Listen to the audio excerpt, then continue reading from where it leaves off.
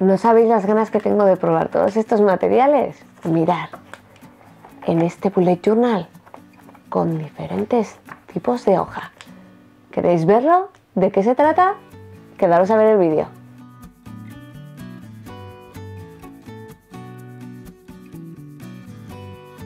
Bienvenidos a todos un día más al canal, yo soy Jessica de Colando Estrellas y hoy tenemos la segunda parte de prueba de materiales de parte de Artistro que me mandaron hace ya un tiempo unos cuantos materiales para probar y poder hacer alguna ilustración con ellos. Sí que he estado un poquito ocupada y se ha retrasado un poquito más de lo que me gustaría, pero ya lo tenemos aquí. En el vídeo anterior de por sí, que os quería hacer una pequeña mención, os enseñé este set de acuarelas, lo vamos a abrir así rápidamente. Vamos a ver ahí. Que también me mandaron y lo pudisteis ver en el unboxing. Ya lo hemos probado. A ver se nos han pegado estas pequeñitas. Se nota que están justo humedecidas ahora mismo. Acabamos de hacer la prueba. El vídeo ya lo tendréis colgado así que podéis ver mi opinión acerca de los pinceles de las acuarelas. Bueno pues cómo hemos trabajado también aquí lo que es la carta de color todo os lo dejaré en la caja de información, así como por aquí arriba que también os va a salir. Y ahora lo que nos toca es probar los segundos materiales, que bueno, por Amazon ya sí tenían bastante buena reseña. La verdad que les tengo muchas ganas porque sí que es verdad que yo suelo hacer bastantes manualidades o trabajos de lettering o con ilustraciones en diferentes tipos de soportes, ¿no? de materiales. Pues bien, puede ser, por ejemplo, una taza de porcelana, puede ser un plato, puede ser una bolsa de tela, eh, bueno, si queremos customizar zapatillas, si queremos al final customizar cualquier artículo prácticamente. Y estos rotuladores de aquí específicos, aquí pues si nos viene, ¿eh? nos viene por ejemplo, eh, para cristal, cerámica, porcelana, madera, metal, tela, papel, mucho más, bueno, pues diferentes. Son 12 rotuladores diferentes de punta extra fina, que son los que más me suelen gustar, porque al final me dan un poquito de precisión la tinta. Por lo menos a diferentes marcas que yo he probado me da la sensación que sale mejor en las puntas extra finas que en las puntas a veces muy, muy gruesas, aunque sí que es verdad que dependiendo del tamaño que tengamos que trabajar, tenemos que utilizar un rotulador u otro. Pero me suelen gustar bastante. Vienen estos 12 tonos, vamos a ver ahí si enfoca bien, que tenemos aquí, nos viene blanco también. Y vamos a probarlo en este bullet planner que nos pone aquí, pero es tipo bullet journal que os enseñé también hace un tiempo en un haul de Tiger. Eh, no me acuerdo cuánto costó, puede que en el haul os lo comente. Eh, os buscaré el vídeo también para dejaroslo en la zona de arriba y en la caja de información.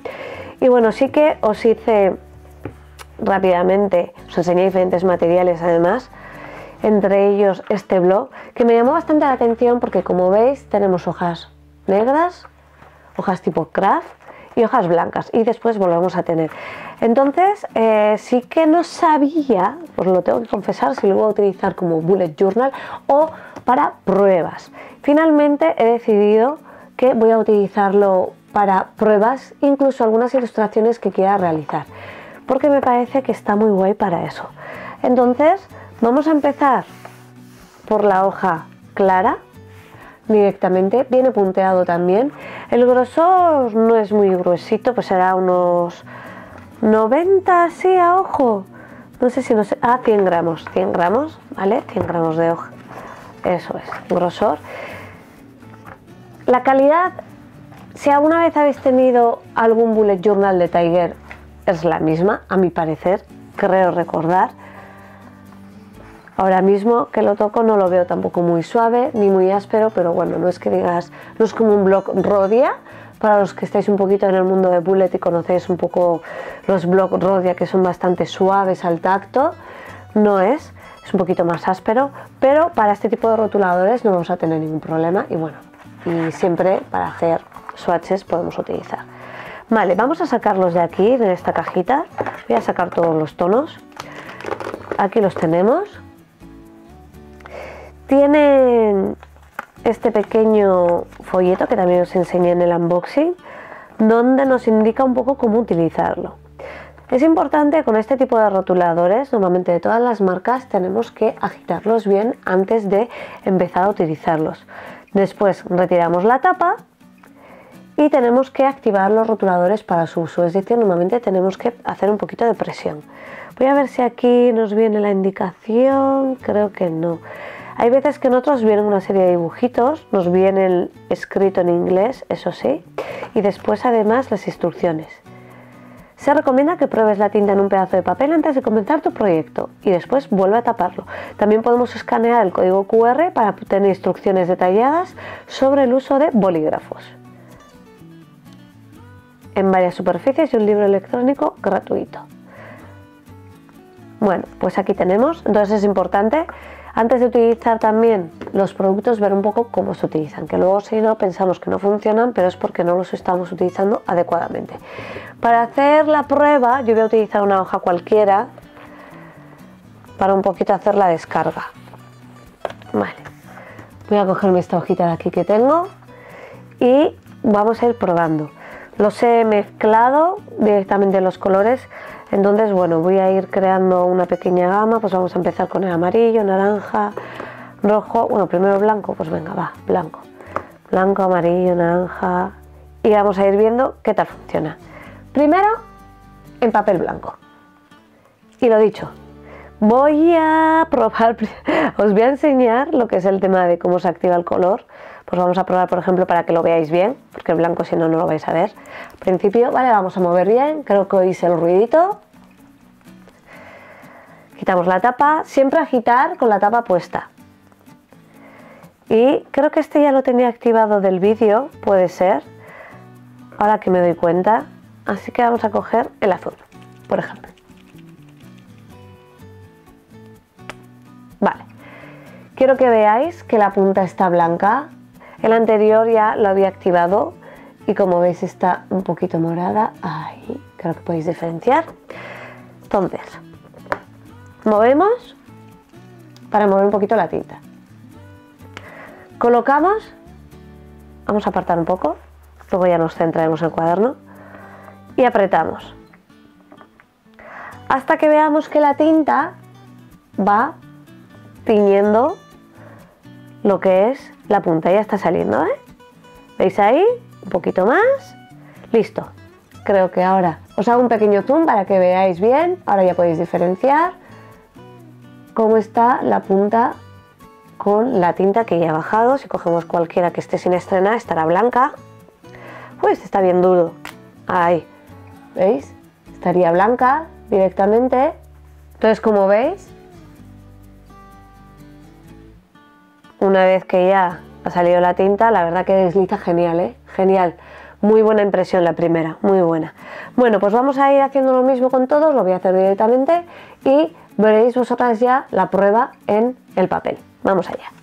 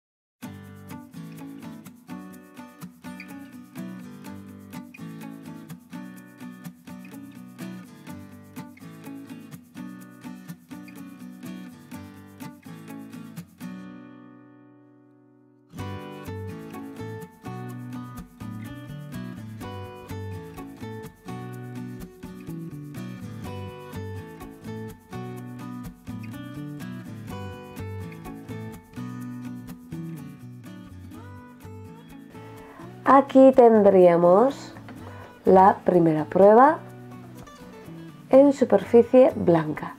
Y como veis he creado esta pestañita que además tiene el diseño un poquito foil. Veis ahí cómo brilla. Que me parece que queda bastante elegante.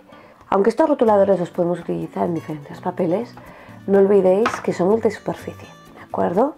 Y que también los podemos utilizar en otro tipo de superficies como pueden ser cristal, bueno, por ejemplo, incluso si quisiéramos decorar, me acuerdo, el, el reloj, cerámica, madera, pero no podemos hacer un cuaderno con todas las superficies para poder hacer las pruebas. Aunque sea, vamos a ver qué tal se han comportado en los tres papeles de color diferente.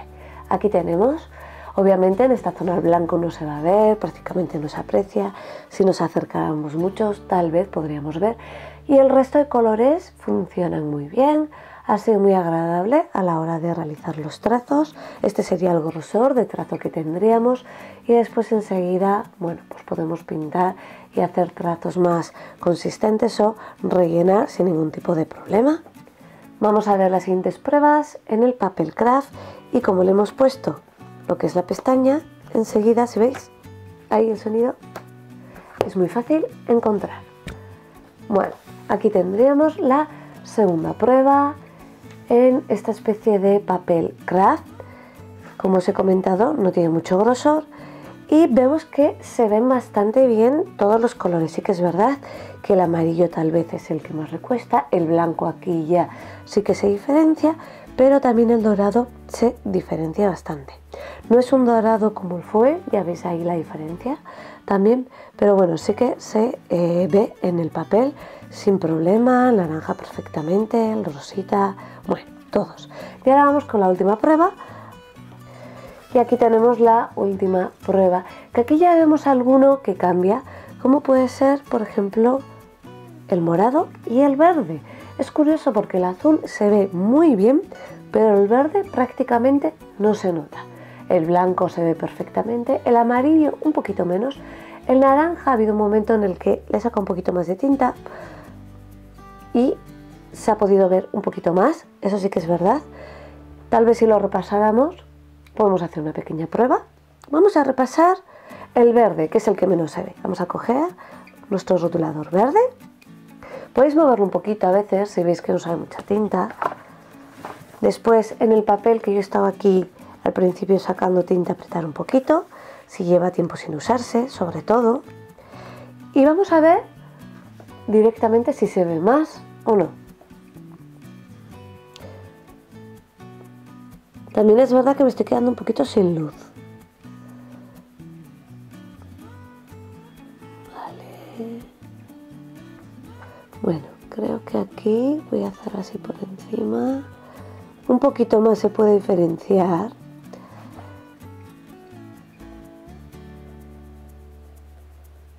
Ahora mismo, pero para nada no tiene nada que ver con el azul, que con un simple trazo hemos visto que salía mucho más. Así que sí que hay diferencias dependiendo del tono, cómo se comporta en papel, porque el verde y el azul podrían funcionar de la misma manera, pero no es el caso. Sí que vemos que los metalizados funcionan bien y obviamente el negro pues le va a costar, ¿no? En papel negro. De esta manera tenemos un poquito un test un poco más rápido con tres papeles diferentes una misma libreta para ver qué tal funcionan. Además poniéndole un poco el papel decorativo podemos llegar a las pruebas de una manera más fácil. Sí que es verdad que hay que dejar secar un poquito, ya que le acabamos de poner el color. Los metalizados son los que más tardan en secar, pero nada, pues un minutito más, no mucho más. Y tendríamos nuestras tres pruebas realizadas con los rotuladores de Artistro. Próximamente os haré un vídeo en el que mezclaré tanto las acuarelas que os las dejo aquí arriba para que veáis qué acuarela se trata y cuáles han sido las pruebas con los rotuladores Artista. Suscribiros al canal para que os notifique, también le podéis dar a la campanita para que os notifique cuando suba el vídeo. Y como siempre os digo, si os gusta este tipo de vídeo, darle a like, suscribiros para no perderos ninguno y compartirlo para que llegue a más gente. También os voy a comentar que os voy a dejar los links a los productos, tanto de Artisto, en este caso los rotuladores, como las acuarelas en la caja de descripción. Y cualquier vídeo que os haya mencionado a lo largo del vídeo, también lo tendréis en la caja de descripción. Y que no se os olvide, por supuesto, si os gusta este tipo de reviews y además el tema creativo de láminas o manualidades, seguirme en mi Instagram colorando estrellas, lo dejaré aquí abajo, que ahí os suelo subir más cositas, pues también de bullet journal, de algunas acuarelas que suelo hacer en tiempo libre o de talleres que imparto tanto acuarela, lettering, bullet journal como manualidades. No me enrollo más, os doy las gracias a todos por estar ahí un día más apoyando el canal y nos vemos en las redes. Un beso muy grande. ¡Ahora!